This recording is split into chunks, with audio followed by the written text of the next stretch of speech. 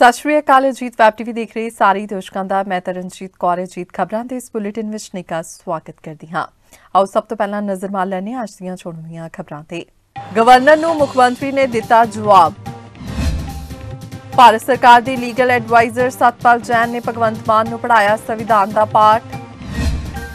ਸਰਕਾਰ ਬੀਬੀਸੀ ਦੇ ਪਿੱਛੇ ਲੱਗਣ ਦੀ ਥਾਂ, ਅਡਾਨੀ ਮਾਮਲੇ ਤੇ ਵਿਰੋਧੀ ਧਿਰ ਦੀ ਮੰਗ ਮੰਨੇ, ਕਿਹਾ ਜੈਰਾਮ ਰਮੇਸ਼ ਨੇ। ਪੁਲਿਸ ਵੱਲੋਂ ਪੂਰੇ ਪੰਜਾਬ ਵਿੱਚ ਸਰਚ ਆਪਰੇਸ਼ਨ ਚਲਾਇਆ ਗਿਆ। ਤੇ ਕਰਨੈਲ ਸਿੰਘ ਪੰਜੋਲੀ ਨੂੰ ਸ਼੍ਰੋਮਣੀ ਅਕਾਲੀ ਦਲ ਦੀ ਮੁੱਢਲੀ ਮੈਂਬਰਸ਼ਿਪ ਤੋਂ ਕੱਢਿਆ।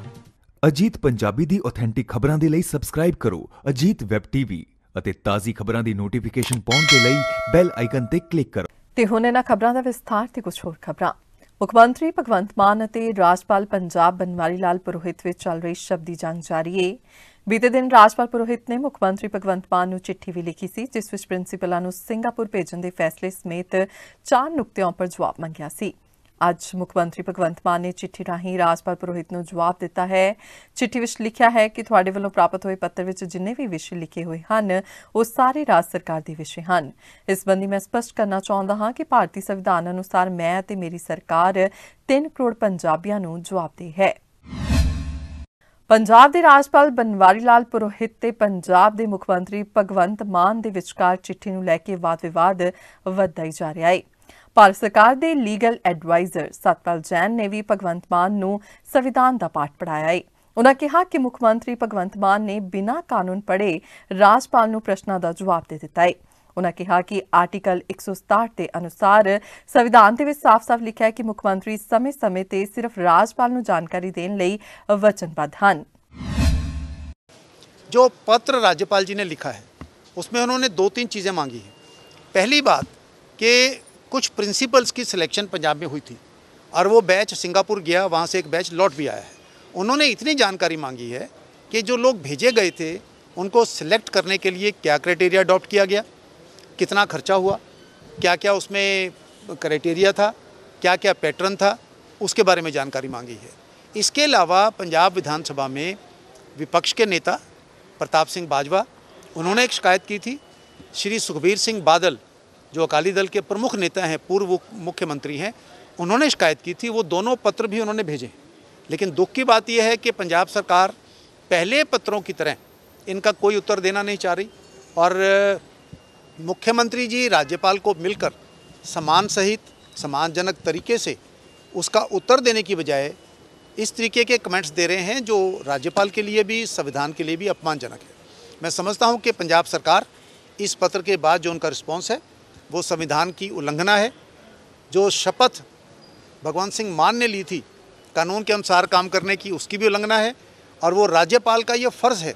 राज्यपाल जब शपथ लेते हैं तो राज्यपाल शपथ लेते हैं कि मैं कानून को प्रोटेक्ट करूँगा, संविधान को प्रोटेक्ट करूँगा डिफेंड करूँगा। मेरा पंजाब सरकार से निवेदन है कि इस तरीके की बचकाना हरकतें बंद करें और जो राज्यपाल का संविधानिक हक है, वो जानकारी उनको दें।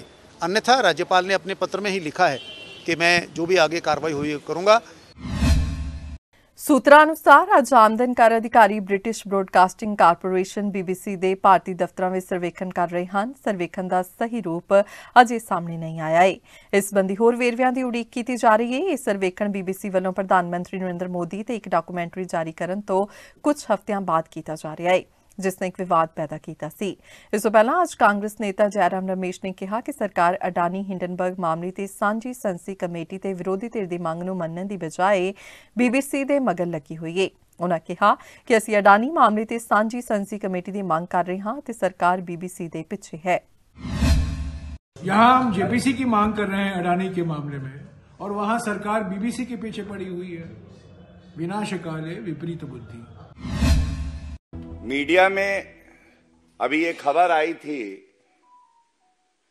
बीबीसी पर आयकर विभाग नियम अनुसार संविधान के तहत कार्रवाई कर रहा है। और जब ये कार्रवाई चल रही है, इसके ऊपर जिस तरह की राजनीतिक प्रतिक्रिया आने का सिलसिला जारी है चाहे वो कांग्रेस पार्टी हो चाहे टीएमसी हो और चाहे वो समाजवादी पार्टी हो ये हर भारतीय के लिए एक चिंता का विषय है ਗੈਂਗਸਟਰ ਕਲਚਰ ਨੂੰ ਰੋਕਣ ਅਤੇ ਲੋਕਾਂ ਨੂੰ ਸੁਰੱਖਿਅਤ ਰੱਖਣ ਲਈ ਪੰਜਾਬ ਪੁਲਿਸ ਵੱਲੋਂ ਆਪਰੇਸ਼ਨ ਕਾਸੋ ਤਹਿਤ ਪੂਰੇ ਪੰਜਾਬ ਵਿੱਚ ਸਰਚ ਅਭਿਆਨ ਚਲਾਇਆ ਗਿਆ ਜਿਸ ਦੇ ਚਲਦਿਆਂ ਫਰੀਦਕੋਟ ਦੇ ਸਾਰੇ ਥਾਣਿਆਂ ਅਧੀਨ ਪੁਲਿਸ ਮੁਲਾਜ਼ਮਾਂ ਨੇ ਟੀਮਾਂ ਦਾ ਗਠਨ ਕੀਤਾ ਤੇ ਵੱਖ-ਵੱਖ ਥਾਵਾਂ ਤੇ ਗੈਂਗਸਟਰਾਂ ਦੀ ਤਲਾਸ਼ੀ ਲਈ। ਜਿਸ ਦੌਰਾਨ ਸਾਥੀਆਂ ਤੇ ਸ਼ੱਕੀ ਵਿਅਕਤੀਆਂ ਦੇ ਘਰਾਂ ਦੀ ਚੈਕਿੰਗ ਦੌਰਾਨ ਪੁਲਿਸ ਦੇ ਹੱਥ ਲਿਸਟ ਹੋਈ ਲੱਗੀ। ਇਸ ਸੰਬੰਧੀ ਜਾਣਕਾਰੀ ਦਿੰਦਿਆਂ ਡੀਐਸਪੀ ਜਸਮੀਤ ਸਿੰਘ ਨੇ ਦੱਸਿਆ ਕਿ ਫਰੀਦਕੋਟ ਵਿਖੇ ਵੱਖ-ਵੱਖ ਥਾਵਾਂ ਤੇ ਸਰਚ ਅਭਿਆਨ ਚਲਾਇਆ ਗਿਆ, ਜਿਸ ਤਹਿਤ ਪੁਲਿਸ ਮੁਲਾਜ਼ਮਾਂ ਵੱਲੋਂ ਸਾਰੇ ਥਾਣਿਆਂ ਅਧੀਨ ਟੀਮਾਂ ਬਣਾ ਕੇ ਵੱਖ-ਵੱਖ ਥਾਵਾਂ ਤੇ ਗੈਂਗਸਟਰਾਂ ਦੇ ਸਾਥੀਆਂ ਤੇ ਸ਼ੱਕੀ ਵਿਅਕਤੀਆਂ ਦੇ ਘਰਾਂ ਦੀ ਚੈਕਿੰਗ ਕੀਤੀ ਜਾ ਰਹੀ ਹੈ ਅਤੇ ਪੁੱਛਣ ਤੇ ਦੱਸਿਆ ਕਿ ਕਿਹੜੇ-ਕਿਹੜੇ ਘਰਾਂ ਦੀ ਚੈਕਿੰਗ ਕੀਤੀ ਗਈ ਹੈ ਡੀਐਸਪੀ ਨੇ ਕਿਹਾ ਕਿ ਇਹ ਨਹੀਂ ਦੱਸਿਆ ਜਾ ਸਕਦਾ ਤੇ ਬਾਕੀ ਜਾਣਕਾਰੀ ਬਾਅਦ ਵਿੱਚ ਦਿੱਤੀ ਜਾਵੇਗੀ। ਇਦਾਂ ਜੀ ਕਿ ਪੰਜਾਬ ਪੁਲਿਸ ਵੱਲੋਂ ਜਿਹੜੇ ਕਿ ਗੈਂਗਸਟਰਸ ਹੈਗੇ ਆ ਜਾਂ ਜਿਹੜੇ ਉਹਨਾਂ ਨੂੰ ਸ਼ੀਲਡ ਕਰਦੇ ਹੈਗੇ ਆ ਜਾਂ ਉਹਨਾਂ ਦੇ ਸਾਥੀ ਹੈਗੇ ਆ, ਉਹਨਾਂ ਨੂੰ ਅਸੀਂ ਰੈਗੂਲਰ ਤੌਰ ਤੇ ਚੈੱਕ ਕਰਦੇ ਆ ਰਹੇ ਆ। ਇਸੇ ਸੰਬੰਧ ਵਿੱਚ ਅੱਜ ਦੀ ਤਰੀਕ 'ਚ ਹੀ ਫਰੀਦਕੋਟ 'ਚ ਥਾਂ ਥਾਂ ਇਹ ਸਰਚ ਆਪਰੇਸ਼ਨ ਕੀਤੇ ਹੈਗੇ ਆ। ਤੇ ਤਾਂ ਜੋ ਕਿ ਸਾਨੂੰ ਕੋਈ ਜੇ ਕੋਈ ਜੇਕਰ ਕੋਈ ਸ਼ੱਕੀ ਵਿਅਕਤੀ ਲੱਭਦਾ ਤੇ ਉਹਦੇ ਖਿਲਾਫ ਕਾਰਵਾਈ ਕਰ ਸਕੀਏ। ਤੇ ਬਾਕੀ ਸੈਕੰਡਲੀ ਇੱਕ ਟਾਈਪ ਆਫ ਪ੍ਰੀਵੈਂਸ਼ਨ ਐਂਡ ਲੋਕਾਂ ਨੂੰ ਜਿਹੜੇ ਗੈਂਗਸਟਰ ਹੈਗੇ ਜਾਂ ਉਹਨਾਂ ਦੇ ਸਾਥ ਦੇਣ ਵਾਲੇ ਆ ਉਹਨਾਂ ਨੂੰ ਇੱਕ ਤਾਕੀਦ ਕਰਨੀ ਤੇ ਇਹ ਸਰ ਜਾਂ ਜਿਨ੍ਹਾਂ ਦਾ ਕੋਈ ਪੁਰਾਣੇ ਨਾਮ ਹੈਗੇ ਜਾਂ ਪਹਿਲਾਂ ਕੋਈ ਉਹਨਾਂ ਦੇ ਇਹ ਬੜਾ ਕ੍ਰਾਈਟੇਰੀਆ ਹੈਗੇ ਜੀ ਕ੍ਰਾਈਟੇਰੀਆ ਦੇ ਬੇਸ ਤੇ ਬੰਦੇ ਆਇਡੈਂਟੀਫਾਈ ਕਰਕੇ ਫਿਰ ਕਰ ਰਹੇ ਆ। ਕ੍ਰਾਈਟੇਰੀਆ ਕੀ ਹੈ ਇਹ ਆਪਾਂ ਤੁਹਾਡੇ ਨਾਲ ਸ਼ੇਅਰ ਨਹੀਂ ਕਰ ਸਕਦੇ। ਕੁੱਲ ਕਿੰਨੀ ਕੁ ਥਾਂ ਤੇ ਸਰ ਇਹ? ਕੀ ਰੇਡ ਹੋ ਰਹੀ ਹੈ ਇਹ ਥਰੂ ਆਊਟ ਦੀ ਡਿਸਟ੍ਰਿਕਟ ਕਾਫੀ ਜਗ੍ਹਾ ਹੈਗੀਆਂ ਨੇ ਜਿੱਦਾਂ ਕਿ ਸਿਟੀ ਫਰੀਦਕੋਟ 'ਚ ਹੀ ਅਰਾਊਂਡ 25 ਕੁ ਜਗ੍ਹਾ ਹੋਣਗੀਆਂ ਜਿੱਥੇ ਅਸੀਂ ਕੀਤਾ। ਤੇ ਇਦਾਂ ਹੀ ਬਾਕੀ ਜਗ੍ਹਾ ਤੇ ਕੋਟਕਪੂਰੇ ਐਂਡ ਸਾਦਿਕ ਕੀਤਾ।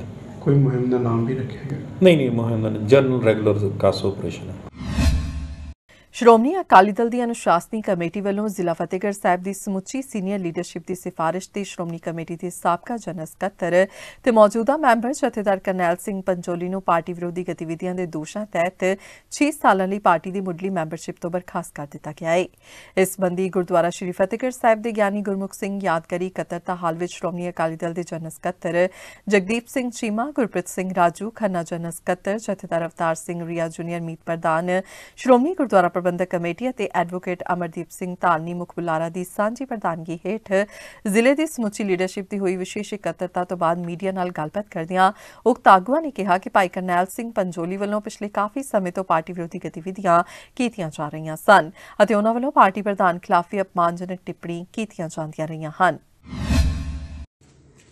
ਔਰ ਅੱਜ ਸਟੇਜ ਉਹ ਹੈ ਵੀ ਸਿਰ ਦੇ ਉੱਤੋਂ ਦੀ ਪਾਣੀ ਟੱਪ ਚੁੱਕਿਆ। ਔਰ ਇਹ ਗੱਲਾਂ ਨੇ ਜਿਹੜੀਆਂ ਮੈਂ ਸਮਝਦਾ ਵੀ ਬਰਦਾਸ਼ਤ ਕਰਨ ਦੇ ਯੋਗ ਨਹੀਂ ਗਿਆ ਅਰਜ ਪਾਰਟੀ ਨੇ ਕੋਈ ਨਾ ਕੋਈ ਜਿਹੜਾ ਡਿਸੀਜਨ ਹੈ, ਉਹ ਲੈਣਾ ਪੈਂਦਾ ਪਾਰਟੀ ਨੂੰ। ਪਾਰਟੀ ਜਾਂ ਪਰਿਵਾਰ ਜਾਂ ਜਥੇਬੰਦੀ, ਕੋਈ ਵੀ ਸੰਸਥਾ ਜਿੰਨੀ ਦੇਰ ਤੱਕ ਉਹ ਸੰਸਥਾ ਦੇ ਵਿੱਚ, ਪਰਿਵਾਰ ਦੇ ਵਿੱਚ, ਪਾਰਟੀ ਦੇ ਵਿੱਚ ਡਿਸਪਲਿਨ ਨਹੀਂ ਉਨੀ ਦੇਰ ਉਹ ਪਾਰਟੀ ਚੱਲ ਨਹੀਂ ਸਕਦੀ। ਔਰ ਮੈਂ ਸਮਝਦਾ ਵੀ ਪਾਰਟੀ ਪ੍ਰਧਾਨ ਨੂੰ, ਜੇ ਆਪਾਂ ਆਪਣੇ ਪਿਓ ਨੂੰ ਮਾਂ ਭੈਣ ਦੀ ਗਾਲ ਕੱਢ ਦਈਏ, ਉਹ ਵੀ ਬਰਦਾਸ਼ਤ ਕਰਨ ਦੇ ਬਾਪ ਕਾਬਲ ਨਹੀਂਗੀ। ਪਾਰਟੀ ਪ੍ਰਧਾਨ ਦੇ ਖਿਲਾਫ, ਔਰ ਉਹ ਵੀ ਮੈਂ ਸਮਝਦਾ ਵੀ ਉੱਥੇ ਜਾ ਕੇ ਇੱਕ ਮੋਰਚੇ 'ਚ ਗਾਲ ਕੱਢਣੀ, ਇਹ ਇੱਕ ਐਸਜੀਪੀਸੀ ਮੈਂਬਰ ਨੂੰ ਜਾਂ ਉਸ ਲੈਵਲ ਦੇ ਸੱਜਣ ਨੂੰ ਸੋਭਦੀ ਨਹੀਂ। ਸੋ ਅੱਜ ਅਸੀਂ ਇੱਕ ਕਰੈਕਟਲੀ ਡਿਸੀਜਨ ਲਿਆ। ਕਰਨੈਲ ਸਿੰਘ ਪਜੌੜੀ ਨੂੰ ਪਾਰਟੀ ਦੇ ਵਿੱਚੋਂ ਕੱਢਣ ਦਾ ਫੈਸਲਾ ਕੀਤਾ।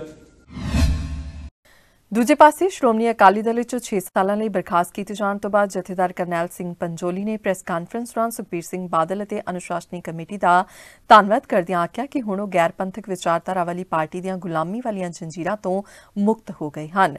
ਉਹ ਹੁਣ ਆਜ਼ਾਦ ਹੋ ਕੇ ਪੰਥ ਤੇ ਪੰਜਾਬ ਦੀ ਡਟ ਕੇ ਗੱਲ ਕਰਨ ਲਈ ਇੱਕ ਅਜਿਹੇ ਨਵੇਂ ਸ਼੍ਰੋਮਣੀ ਅਕਾਲੀ ਦਲ ਦਾ ਗਠਨ ਕਰਨਗੇ, ਜਿਹੜਾ ਸ੍ਰੀ ਗੁਰੂ ਗ੍ਰੰਥ ਸਾਹਿਬ ਜੀ ਦੀ ਰੋਸ਼ਨੀ ਅਤੇ ਸ੍ਰੀ ਅਕਾਲ ਤਖਤ ਸਾਹਿਬ ਜੀ ਦੀ ਸਰਪ੍ਰਸਤੀ ਹੇਠ ਪੰਥ ਅਤੇ ਪੰਜਾਬ ਦੇ ਹਿੱਤਾਂ ਦੀ ਰਾਖੀ ਲਈ ਕੰਮ ਕਰੇਗਾ। ਇਸ ਜਥੇਬੰਦੀ ਵਿੱਚ ਉਹਨਾਂ ਉਹਨਾਂ ਸਾਰੀਆਂ ਪੰਥਕ ਧਿਰਾਂ ਨੂੰ ਸ਼ਾਮਿਲ ਕੀਤਾ, ਜਿਹੜੀਆਂ ਪੰਥਕ ਹਿੱਤਾਂ ਦੀ ਰਾਖੀ ਲਈ ਜੰਗ ਲੜ ਰਹੀਆਂ ਹਨ। ਜਥੇਦਾਰ ਪੰਜੋਲੀ ਨੇ ਕਿਹਾ ਕਿ ਕਿਸੇ ਵੀ ਜਥੇਬੰਦੀ ਚੋਂ ਕਿਸੇ ਆਗੂ ਜਾਂ ਵਰਕਰ ਨੂੰ ਕੱਢਣ ਤੋਂ ਪਹਿਲਾਂ ਕਾਰਨ ਦੱਸੋ ਨੋਟਿਸ ਕੀਤਾ ਜਾਂਦਾ ਹੈ ਪਰ ਹੁਣ ਸ਼੍ਰੋਮਣੀ ਅਕਾਲੀ ਦਲ ਇੱਕ ਜਥੇਬੰਦੀ ਨਹੀਂ, ਬਲਕਿ ਸੁਖਬੀਰ ਸਿੰਘ ਬਾਦਲ ਦੀ ਨਿੱਜੀ ਪ੍ਰਾਈਵੇਟ ਲਿਮਿਟਿਡ ਕੰਪਨੀ ਬਣ ਕੇ ਰਹਿ ਗਈ ਏ ਅਤੇ ਉਹ ਪ੍ਰਾਈਵੇਟ ਲਿਮਿਟਿਡ ਕੰਪਨੀ ਚੋਂ ਕਿਸੇ ਨੂੰ ਵੀ ਬਾਹਰ ਕੱਢ ਸਕਦੇ ਹਨ।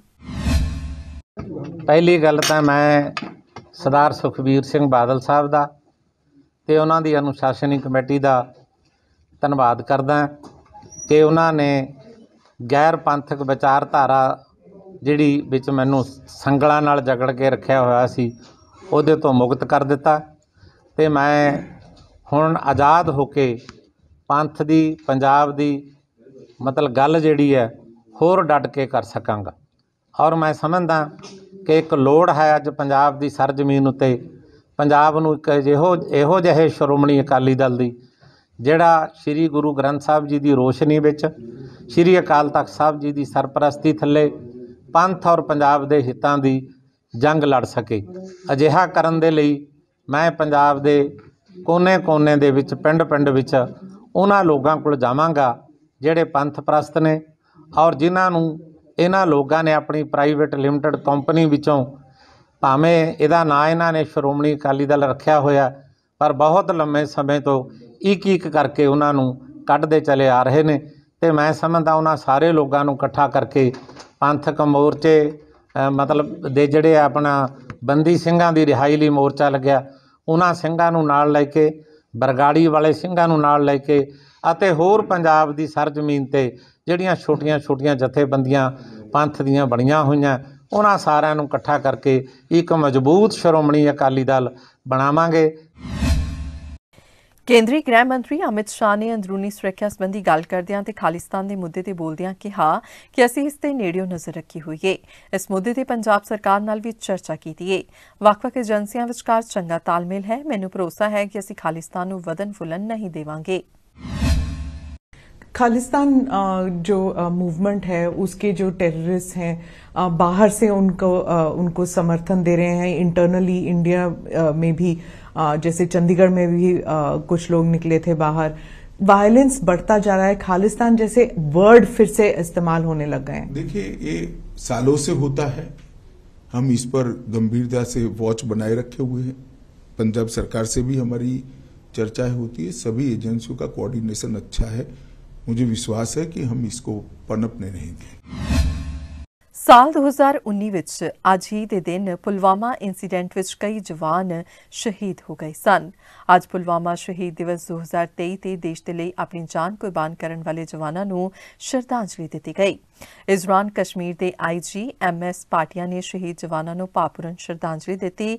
ਨਾਲ ਹੀ ਉਹਨਾਂ ਦੱਸਿਆ ਕਿ ਪੁਲਵਾਮਾ ਘਟਨਾ ਤੋਂ ਬਾਅਦ ਕਸ਼ਮੀਰ ਨੂੰ ਆਤੰਕਵਾਦੀਆਂ ਤੋਂ ਮੁਕਤ ਕਰਵਾਉਣ ਦੇ ਲਈ ਕਈ ਆਪਰੇਸ਼ਨ ਚਲਾਏ ਗਏ ਹਨ ਤੇ ਕਈ ਚੱਲ ਰਹੇ ਹਨ। ਇਸ ਘਾਟੀ ਦੇ ਵਿੱਚ ਆਤੰਕਵਾਦ ਨੂੰ ਪੂਰੀ ਤਰ੍ਹਾਂ ਖਤਮ ਕਰਨ ਦੀ ਅਸੀਂ ਕੋਸ਼ਿਸ਼ ਕਰ ਰਹੇ ਹਾਂ। ਪ੍ਰਧਾਨ ਮੰਤਰੀ ਨਰਿੰਦਰ ਮੋਦੀ ਨੇ ਅੱਜ ਕੇਂਦਰੀ ਰਿਜ਼ਰਵ ਪੁਲਿਸ ਬਲ ਦੇ ਉਹਨਾਂ ਜਵਾਨਾਂ ਨੂੰ ਸ਼ਰਧਾਂਜਲੀ ਭੇਂਟ ਕੀਤੀ ਜਿਨ੍ਹਾਂ ਨੇ 2019 ਦੇ ਪੁਲਵਾਮਾ ਅੱਤਵਾਦੀ ਹਮਲੇ ਵਿੱਚ ਆਪਣੀ ਜਾਨ ਗਵਾਈ ਪ੍ਰਧਾਨ ਮੰਤਰੀ ਨੇ ਇੱਕ ਟਵੀਟ ਵਿੱਚ ਕਿਹਾ ਕਿ ਸਾਡੇ ਬਹਾਦਰ ਨਾਇਕ ਜਿਨ੍ਹਾਂ ਨੂੰ ਅਸੀਂ ਇਸ ਦਿਨ ਪੁਲਵਾਮਾ ਵਿੱਚ ਗਵਾ ਦਿੱਤਾ ਸੀ ਅਸੀਂ ਉਹਨਾਂ ਦੀ ਮਹਾਨ ਕੁਰਬਾਨੀ ਨੂੰ ਕਦੇ ਨਹੀਂ ਭੁੱਲਾਂਗੇ तो आज पुलवामा का जो वर्षगांठ है पुलवामा वाली घटना की तो आज के दिन हमारे जितने भी जवान शहीद हुए थे, उनको हम विनम्र श्रद्धांजलि देते हैं। और, पुलवामा की घटना के बाद कश्मीर में जो हालात हैं, उसमें बहुत सुधार हुआ है। जो सिक्योरिटी फोर्सेस हैं, उनमें सिनर्जी बहुत अच्छी है। और लगातार ऑपरेशंस भी चल रहे हैं। आप देख रहे होंगे कि लॉ एंड ऑर्डर जो स्टोन पेल्टिंग वगैरह थे, वो तो अब ख़त्म ही हो गया है। रिकॉर्ड टूरिस्ट आए हैं इस बार वैली में। जो टेरर इकोसिस्टम है, वो समाप्त हो गया है। और जो हड़तालें, बंद कॉल शटडाउन्स होते थे, वो बंद हो गए हैं। तो कुल मिला के स्थिति में बहुत ही रिमार्केबल इम्प्रूवमेंट है। ਅਬੋਰ ਵਿੱਚ ਸਕੂਟੀ ਤੇ ਜਾ ਰਹੀ ਨੌਜਵਾਨ ਦੀ ਸਕੂਟੀ ਸਲਿੱਪ ਕਰਨ ਕਾਰਨ ਮੌਕੇ ਤੇ ਹੀ ਮੌਤ ਹੋ ਗਈ। ਉਸ ਦੀ ਮਦਦ ਲਈ ਕੋਈ ਅੱਗੇ ਨਹੀਂ ਆਇਆ। ਇਸ ਦੇ ਬਾਵਜੂਦ ਜੇਕਰ ਕੋਈ ਅੱਗੇ ਆਇਆ ਤਾਂ ਉਸਨੇ ਪਹਿਲਾਂ ਐਂਬੂਲੈਂਸ ਬੁਲਾਉਣ ਦੀ ਕੋਸ਼ਿਸ਼ ਕੀਤੀ। ਜੇਕਰ ਪੰਜਾਬ ਸਰਕਾਰ ਦੀਆਂ ਹਦਾਇਤਾਂ ਦੀ ਪਾਲਣਾ ਕਰਦੇ ਹੋਏ ਜ਼ਖਮੀਆਂ ਨੂੰ ਸਮੇਂ ਸਿਰ ਕੁਝ ਦੂਰੀ ਤੇ ਸਥਿਤ ਸਰਕਾਰੀ ਹਸਪਤਾਲ ਪਹੁੰਚਾਇਆ ਜਾਂਦਾ ਤਾਂ ਸ਼ਾਇਦ ਉਸ ਦਾ ਬਚਾਅ ਹੋ ਸਕਦਾ ਸੀ। ਪਰ ਲੋਕਾਂ ਦੀ ਅਣਗਹਿਲੀ ਕਾਰਨ ਚਾਰ ਭੈਣਾਂ ਦਾ ਇਕਲੌਤਾ ਭਰਾ ਆਪਣੀ ਨਵ ਵਿਆਹੀ ਪਤਨੀ ਨੂੰ ਮਿਲ ਨਹੀਂ ਸਕਿਆ। ਮ੍ਰਿਤਕ ਦੀ ਲਾਸ਼ ਨੂੰ ਅਬੋਰ ਦੇ ਸਰਕਾਰੀ ਹਸਪਤਾਲ ਦੇ ਮੁਰਦਾ ਘਰ ਵਿੱਚ ਰਖਵਾਇਆ ਗਿਆ ਹੈ ਦੂਜੇ ਪਾਸੇ ਰੇਲਵੇ ਪੁਲਿਸ ਨੇ ਮਾਮਲੇ ਦੀ ਜਾਂਚ ਸ਼ੁਰੂ ਕਰ ਦਿੱਤੀ। ਹੈ ਪ੍ਰਾਪਤ ਜਾਣਕਾਰੀ ਅਨੁਸਾਰ ਵਿਸ਼ਾਲ ਕੁਮਾਰ ਪੁੱਤਰ ਅਮਰ ਸਿੰਘ ਵਾਸੀ ਨਵੀਂ ਆਬਾਦੀ ਗਲੀ ਨੰਬਰ 14 ਮਾਰਕੀਟ ਵਿੱਚ ਕੱਪੜੇ ਦੀ ਦੁਕਾਨ ਤੇ ਕੰਮ ਕਰਦਾ ਸੀ। ਬੀਤੀ ਰਾਤ ਉਹ ਦੁਕਾਨ ਤੇ ਆਪਣੇ ਘਰ ਜਾ ਰਿਹਾ ਸੀ। ਜਦੋਂ ਆਪਣੀ ਮੋਪੜ ਤੇ ਸਿੱਧੂ ਨਗਰੀ ਰੇਲਵੇ ਕ੍ਰਾਸਿੰਗ ਪਾਰ ਕਰ ਰਿਹਾ ਸੀ, ਤਾਂ ਉਸ ਦੀ ਮੋਪੇਡ ਬੇਕਾਬੂ ਹੋ ਕੇ ਸਾਈਡ ਤੇ ਲੱਗੇ ਖੰਭੇ ਨਾਲ ਟਕਰਾ ਗਈ। ਇਸ ਹਾਦਸੇ ਵਿੱਚ ਵਿਸ਼ਾਲ ਬੁਰੀ ਤਰ੍ਹਾਂ ਜ਼ਖਮੀ ਹੋ ਗਿਆ। ਕੋਈ ਵੀ ਉਸ ਦੀ ਮਦਦ ਲਈ ਅੱਗੇ ਨਹੀਂ ਆਇਆ, ਜਿਸ ਕਾਰਨ ਉਹ ਕਾਫੀ ਸਮੇਂ ਤੋਂ ਤੜਫ ਰਿਹਾ ਸੀ ਅਤੇ ਜਦੋਂ ਤੱਕ ਉਸ ਨੂੰ ਹਸਪਤਾਲ ਲਿਜਾਇਆ ਗਿਆ, ਉਦੋਂ ਤੱਕ ਉਸ ਦੀ ਜਾਨ ਜਾ ਚੁੱਕੀ ਸੀ। ਇਹ ਮੁੰਡਾ ਵਿਸ਼ਾਲ ਹੈਗਾ ਇੱਧਰ ਅਹ, ਨਈ ਵਾਦੀ ਦਾ। ਇਹ ਇੱਧਰੋਂ ਆ ਰਿਹਾ ਸੀ ਦੁਕਾਨ ਤੋਂ ਰਾਤ ਨੂੰ ਆਪਣੇ ਕੰਮ ਤੋਂ 10 11 ਵਜੇ। ਜਦੋਂ ਰੇਲਵੇ ਫਾਟਕ ਦੇ ਨੇੜੇ ਆਇਆ ਤੇ ਇਹਦੀ ਸਕੂਟਰੀ ਸਲਿਪ ਹੋਣ ਕਰਕੇ ਇਹਦਾ ਸਿਰ ਵੱਜਿਆ ਨੀਚੇ ਤੇ ਦੀ ਇਹਦੇ ਨਾਲ ਮੌਤ ਹੋ ਗਈ ਹੈ। ਹੁਣ ਇਹਦੀ ਕਾਰਵਾਈ ਕਰਕੇ ਤੇ 174 ਦੀ ਕਾਰਵਾਈ ਕਰ ਰਹੇ ਹਾਂ। ਨਾਭਾ ਵਿਖੇ ਪਹੁੰਚੇ ਭਾਰਤੀ ਕਿਸਾਨ ਯੂਨੀਅਨ ਰਾਜੇਵਾਲ ਦੇ ਸੂਬਾ ਪ੍ਰਧਾਨ ਬਲਵੀਰ ਸਿੰਘ ਰਾਜੇਵਾਲ ਨੇ ਕਿਹਾ ਕਿ ਪੰਜਾਬ ਵਿੱਚ ਪਾਣੀ ਖਤਮ ਹੋਣ ਦੀ ਕਗਾਰ ਤੇ ਹੈ, ਸਰਕਾਰਾਂ ਪਾਣੀ ਦੇ ਮੁੱਦੇ ਨੂੰ ਲੈ ਕੇ ਗੰਭੀਰ ਨਹੀਂ ਹਨ। ਰਾਜੇਵਾਲ ਨੇ ਕਿਹਾ ਕਿ ਜੇਕਰ ਹੁਣ ਵੀ ਪਾਣੀ ਵੱਲ ਧਿਆਨ ਨਾ ਦਿੱਤਾ ਗਿਆ, ਤਾਂ ਪੰਜਾਬ ਉਜਾੜੇ ਵੱਲ ਚਲਾ ਜਾਵੇਗਾ। ਬਲਬੀਰ ਸਿੰਘ ਨੇ ਵਿਰੋਧੀਆਂ ਨੂੰ ਇੱਕ ਵਾਰੀ ਫਿਰ ਜਵਾਬ ਦਿੰਦੇ ਕਿਹਾ, ਕਿਸਾਨੀ ਅੰਦੋਲਨ ਵਿੱਚ ਮੈਂ ਕਿਸੇ ਤੋਂ ਪੈਸਾ ਨਹੀਂ ਲਿਆ, ਜੋ ਵੀ ਮੇਰੇ ਤੇ ਇਲਜ਼ਾਮ ਲਗਾ ਰਿਹਾ ਹੈ ਉਹ ਦਰਬਾਰ ਸਾਹਿਬ ਚੱਲਣ ਤੇ ਸੌ ਚੁੱਕਣ। ਦੇਖੋ ਅਸਲ ਵਿੱਚ ਕੁਦਰਤ ਆਪਣਾ ਰੋਲ ਪਲੇ ਕਰਦੀ ਹੈ। ਤੇ ਜਦੋਂ ਕੋਈ ਮੋਰਚਾ ਲੱਗਣਾ, ਕੁਦਰਤ ਵਾਲੇ ਨੇ ਰੋਣਾ, ਉਦੋਂ ਲੱਗਣਾ ਹੈ। ਤੇ ਅਸੀਂ ਤਾਂ ਇੱਕ ਸਾਲ ਪਹਿਲਾਂ ਤੋਂ ਇਹਦੀ ਤਿਆਰੀ ਕਰ ਰਹੇ ਹਾਂ। ਪਾਣੀ ਦੀ, ਪਾਣੀ ਦੇ ਮੁੱਦੇ ਨੂੰ ਸਟੱਡੀ ਕੀਤਾ। ਬਹੁਤ ਪੰਜਾਬ ਦੀ ਸਥਿਤੀ ਗੰਭੀਰ ਹੈ। ਤੇ ਪੰਜਾਬ ਦਾ ਪਾਣੀ ਬਹੁਤ ਸਪੀਡ ਨਾਲ ਖਤਮ ਹੋ ਰਿਹਾ ਹੈ। ਤੇ ਪੰਜਾਬੀਆਂ ਨੂੰ ਸਾਰਿਆਂ ਨੂੰ ਧਿਆਨ ਕਰਨਾ ਪਏਗਾ। ਇੱਕ ਤਾਂ ਕਿਸਾਨਾਂ ਨੂੰ ਇਹ ਖਿਆਲ ਰੱਖਣਾ ਪਏਗਾ, ਜਿਹੜਾ ਗਰਮੀਆਂ 'ਚ ਕਹਿੰਦੇ ਨਾ ਧਰਤੀ ਠੰਡੀ ਕਰਨ ਵਾਸਤੇ ਮੋਟਰ ਚਲਾਈ ਹੈ, ਫਸਲ ਕੋਈ ਹੁੰਦੀ ਨਹੀਂ, ਇਹ ਇਹ ਬੰਦ ਕਰਨਾ ਪਏਗਾ। ਤੇ ਜਿਹੜੇ ਨਹਾਉਣ ਵੇਲੇ 6-6 ਬਾਲਟੀਆਂ ਡੋਲ ਦਿੰਦੇ ਨੇ, ਉਹਨਾਂ ਨੂੰ ਵੀ ਦੇਖਣਾ ਪਏਗਾ, ਇੰਡਸਟਰੀ ਨੂੰ ਵੀ ਦੇਖਣਾ ਪਏਗਾ, ਘਰੇਲੂ ਕੰਜ਼ੰਪਸ਼ਨ ਨੂੰ ਵੀ ਦੇਖਣਾ ਪਏਗਾ, ਤੇ ਹਰ ਸੈਕਟਰ ਦੇ ਵਿੱਚ ਪਾਣੀ ਦੀ ਬਚਤ ਕਰਨ ਵਾਸਤੇ ਸਰਕਾਰ ਨੂੰ ਕੋਈ ਉਪਰਾਲੇ ਕਰਨੇ ਚਾਹੀਦੇ ਆ। ਸਾਡੇ ਕੋਲ ਬਹੁਤਾ ਪਾਣੀ ਨਹੀਂ ਰਿਹਾ। ਬਹੁਤ ਸਪੀਡ ਨਾਲ ਪਾਣੀ ਖਤਮ ਹੋ ਰਿਹਾ ਤੇ ਜੇ ਪਾਣੀ ਨਾ ਰਿਹਾ, ਤਾਂ ਪੰਜਾਬ ਨਹੀਂ ਬਚਣਾ। ਤੇ ਇਸ ਨਾਲ ਹੀ ਅਜੀਤ ਖਬਰਾਂ ਦਾ ਬੁਲੇਟਿਨ ਇੱਥੇ ਖਤਮ ਹੁੰਦਾ ਹੈ। ਨਵੀਆਂ ਤੇ ਤਾਜ਼ਾ ਤਰੀਨ ਖਬਰਾਂ ਲੈ ਕੇ ਫਿਰ ਤੋਂ ਹਾਜ਼ਰ ਹੋਵਾਂਗੇ। ਤਦ ਤੱਕ ਲਈ ਦਿਓ ਇਜਾਜ਼ਤ। ਧੰਨਵਾਦ।